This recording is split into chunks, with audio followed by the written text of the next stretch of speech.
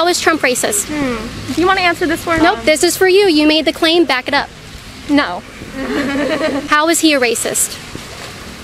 I'm not going to answer you. Why? Because you can't or because you won't? No, because I'm pissed at you and you should leave our campus. When we look at the Black Lives Matter discussion and we look at who's up for the presidency, Joe Biden or Donald Trump, who would be better to run black America? Hmm, I'd rather choose um, a Biden over a racist pedophile. Okay. How is he racist? You kidding. How is I'll Trump get to you. racist? I'll get to you. How is Trump racist? Hmm. Do you want to answer this for me? Nope, this is for you. You made the claim, back it up. No. Well, you said we're I'm an idiot. He has had multiple people be killed because He of police has- brutality. He has had people be killed. Ma'am, I live in a town where there was riots. Very good. I'm glad that that's where you come from. However, who has he had killed? He's caused his police to do it. He has militiaized this country. He has militiaized this country. I country. can't speak English because I suck at it, but ma'am, he Don't has, assume my gender. Mhm. Yeah. Don't do that. don't assume your gender. What are your pronouns then? Zay and Z and princess. Princess? Mm-hmm. Damn. Yes. How is he a racist?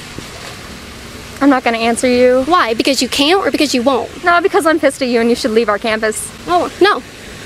This is a free country, right? Whose streets? My streets. Today. Yeah, so this is a private campus. No, it's not. It is a public university. I just want to know how Donald Trump is racist. because he has had his his militia, our military, be used to protect buildings against people who have been killed multiple times He needs to protect the buildings. Why? Why would he need to protect the buildings? for no reason because people For who, no reason or because they're lighting them on fire and they're killing police officers? not people who are killing police officers it's people like you who are causing them to light the buildings on fire I- people like me who support the police, who is against Black Lives Matter terrorist organization, I'm the one that's causing them to tear down the buildings and light them on fire? Ma'am, it has proven that people who are against the Black Lives Matter movement will go and purposely force the riots and blame it on people who are Can you give me proof for that? There are many articles that you can look up for yourself. Give me ma'am. one. What was it? Well, it was in like Times or something. Something that's a 90. Who did it? Who did it? 90%. It was Times, I think. Yeah. 93% of what? 93% of people who are against the Black Lives Movement are would go to the riots. I'm sorry. Stop. I'm talking to her. I will gladly come to you next. 93%. She has to. She can talk. Yeah, but it's my body, my choice not to talk to you. So, 93%, 93%, just finish your point. That's it. 93%. So are you saying it's good for 7% of the riots and the pro the protesters to be violent? You think that's a good statistic? The 7% is peaceful? You think we're supposed to wave that around as it's good? People because they only show the people that are causing the riots to be violent. They aren't showing the peaceful riots. And she also The peaceful riots. How is a riot peaceful? There are peaceful protests going around this country every day. They chose not to show them. They are- do show them. majority of cops are nice, so we should not abolish the cop, abolish police because the majority of cops are nice, right? So we shouldn't stop protests because the majority of them are peaceful. I'm not saying to stop protests. I'm saying to stop the riots. No, the people protesting aren't the ones doing the riots. Then, then what's where's the difference? So I'm glad the people who are peacefully protesting, sure, if they don't want to be caught up in the riots, then leave. But when the riots specifically shout Black Lives Matter, they shout the names of drug addicts and felons and pedophiles and people who have attempted to murder people.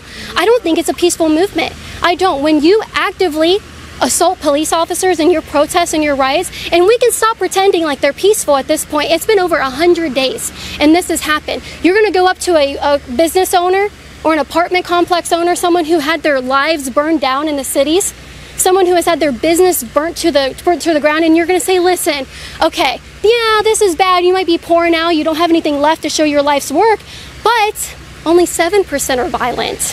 So most of us are good. It doesn't matter anymore. It doesn't matter anymore. Apply Over a hundred days. Apply that same logic to cops. It doesn't matter anymore. So we need to get rid of the cops.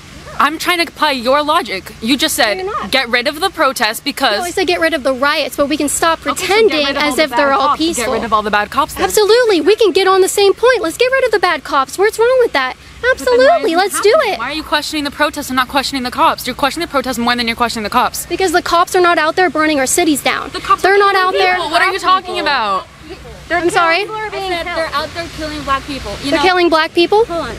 Okay, so you said Um, okay, so I've been to the Orlando protest here. Great. and uh, I stayed and the only time they turned violent was when the police was using force against the peaceful protesters. So Okay, so cops are killing black people. yes, yes. How many black unarmed men were shot in 2019? Am I like do I have Google in my brain? No. I would absolutely, if you're going to say black people are being killed by a sp- specific entity, you should give me the numbers. Uh, You can even guess how many. Do you think it's in the thousands and the hundred thousands? Two? prepared for the speech that you're giving us. We haven't Googled. Well, you guys have prepared to have your opinions. I don't know where you got them. Maybe you got them from the TV. How many unarmed black men were shot in 2019?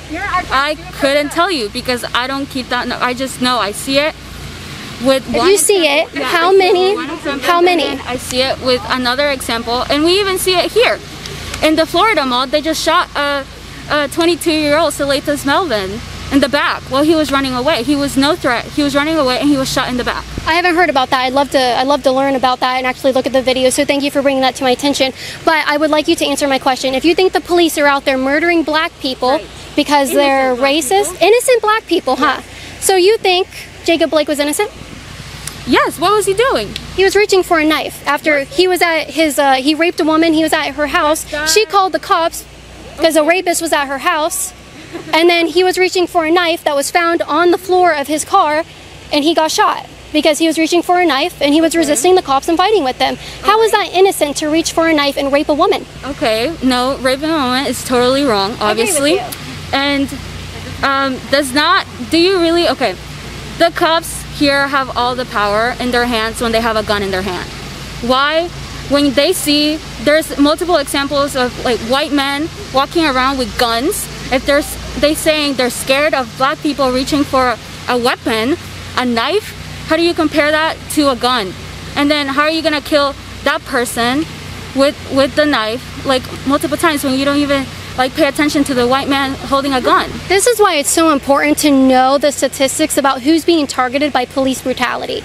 Again, I would love to know the difference between white unarmed people, men specifically, shot by the police, and black unarmed men shot by the police. It's a really important statistic that I think would open your guys' mind. Can you do you want to give a shot at maybe the differences? I would have to do. I would have to look it up myself. I don't. I'm Do you think it's in the thousands, black people being shot, black men being shot, totally innocent, unarmed? um, I mean, when the media tells you, and we see all these videos coming out, would you say it's a high number or a low number? I would say it's a more uh, people that there needs to be dead. Like, why do you even like need to like have these instances? Like, this shouldn't be happening. Period. No, people should not be trying to shoot the police or trying to come at them or anything like that. But let me tell you, there were nine unarmed black men that were shot in 2019.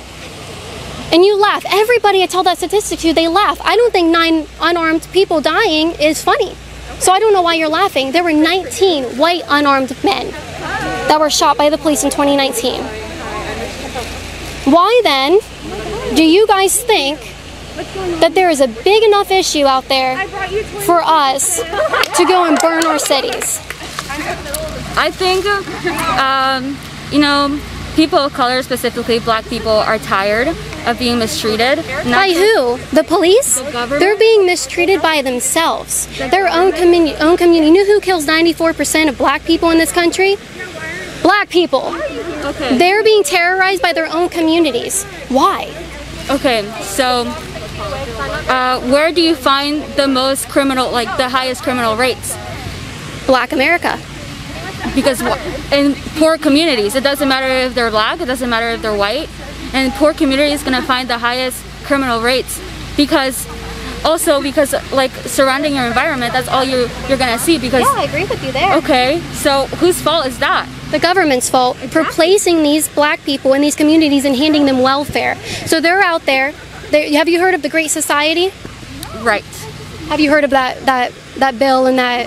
Right. Okay. So that put more Black Americans on welfare and took incentivized single motherhood.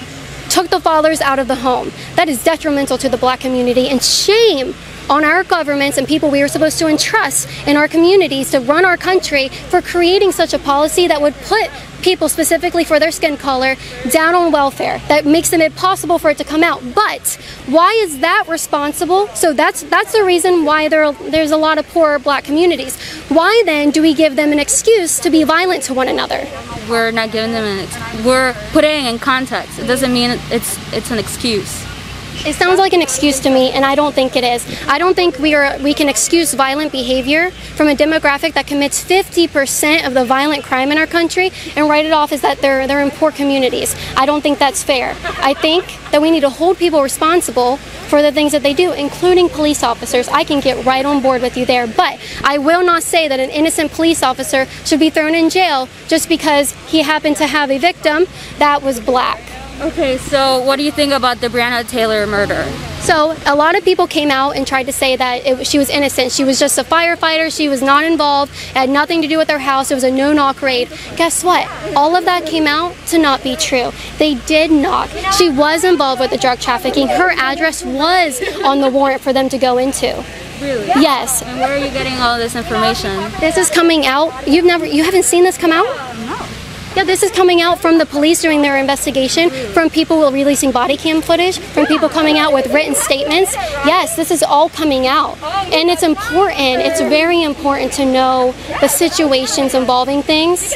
Now, I will get behind Rand Paul's initiative to end no knock raids. No police officer should be in, entering into a home without knocking, right? Because people have the right to defend themselves against someone coming into their home that they don't know of. But I don't think that was the situation involving Breonna Taylor.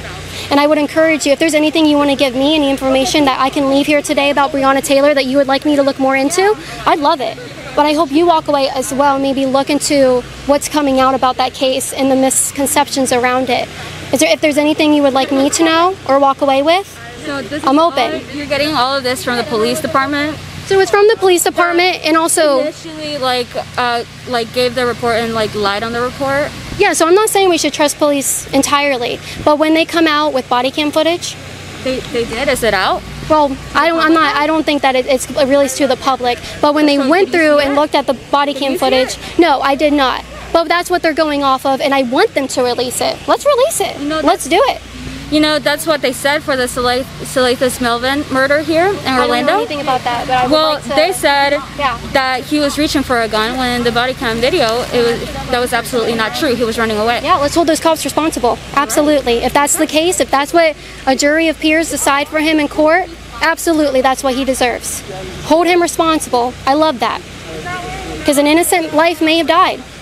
But also, we can't lock up people without proving that they're guilty. Do you see what I'm saying? Because that can be used against anybody. Anybody. We have to prove that people are guilty, be able to do that. So. I appreciate you talking to me. To watch that interaction in its entirety, uncut and uncensored, go to libertyhangout.tv. We have behind the scenes footage and a lot more coming out of this trip. Go to libertyhangout.tv right now to watch Kaitlin Bennett uncensored. Not only will you get to watch exclusive content from me, but you'll get to say you stood for the truth, you stood against radical leftism, and you stood up for America.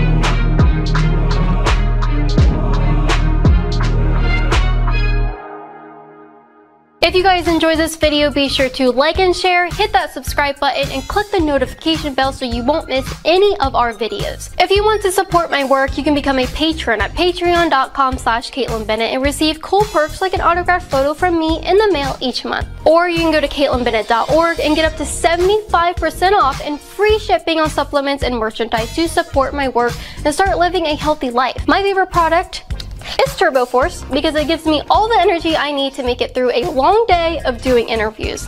There are tons of other health supplements you can choose from to keep your body healthy during these uncertain times. And check out the website banned.video to see uncensored content from conservative creators that have been erased from social media.